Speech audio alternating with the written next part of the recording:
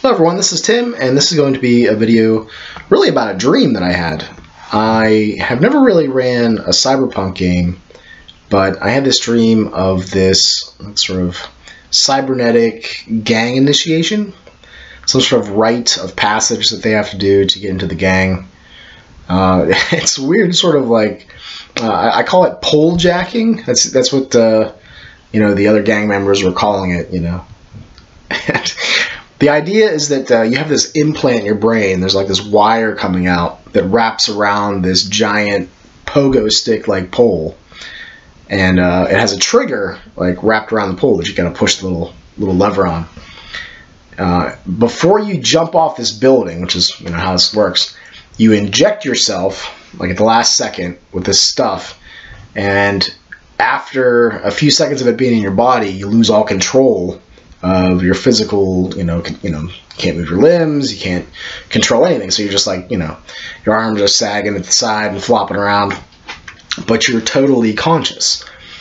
And so you eject yourself, jump off, uh, and right before you lose, you know, able to to use your finger or whatever, you hit the lever, and you know, a little zap goes up the wire and fries a part of your brain that you know, I don't even know if this part exists in the brain, but in the dream, uh, the part of the brain that controls restraint. You know, so uh, being able to hold yourself back from uh, dangerous, risky, uh, any sort of behavior like that uh, gets fried.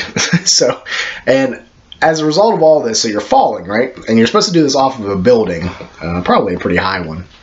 And the only way you get into the gang is if you survive the fall. But uh, the fall itself is kind of like in Inception, where it's real slow.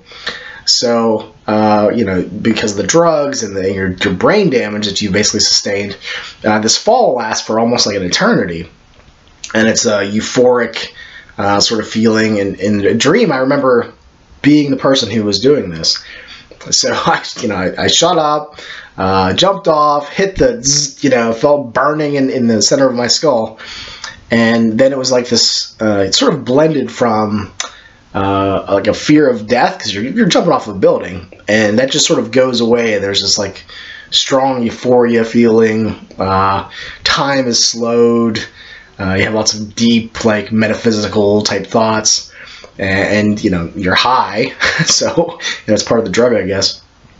And towards the end, you know, you're actually waiting for the the land, like the landing at the end, because it's taking so long to get there that you're actually like, come on, hurry up now, you know, and it just ta- it takes forever.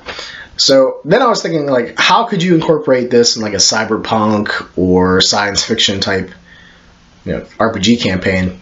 And I think the beginning of a session, perhaps, the characters are walking down a street and one of these guys like slams on top of a car like this giant pole and he's like strapped to it. And I posted this in the RPG brigade and someone said well if he loses all control of his body like you're literally gonna like need a, a change of shorts. And uh, but yeah but like splatting on top of a car that's gonna be you know messy with blood and other you know all the other stuff that you let out at the bottom. So uh, but anyway, I was just thinking, like, you know, that would be a pretty evocative, uh, like in media res way to start a campaign with this guy strapped to a pole, uh, you know, smelling awful, bleeding everywhere. You know, maybe he actually survives. And that can be the start of a campaign. Like, well, what kind of organization has this sort of intense, uh, you know, blood in sort of ritual for for the gang? And then you start to think, Okay, so let's say that there is a gang, apparently there is, that has survived this. So every member of that gang did this and lived to tell about it. They, they gotta be a bunch of badasses, man. They just gotta be like tough. Uh, you know, they have no fear of death anymore, probably.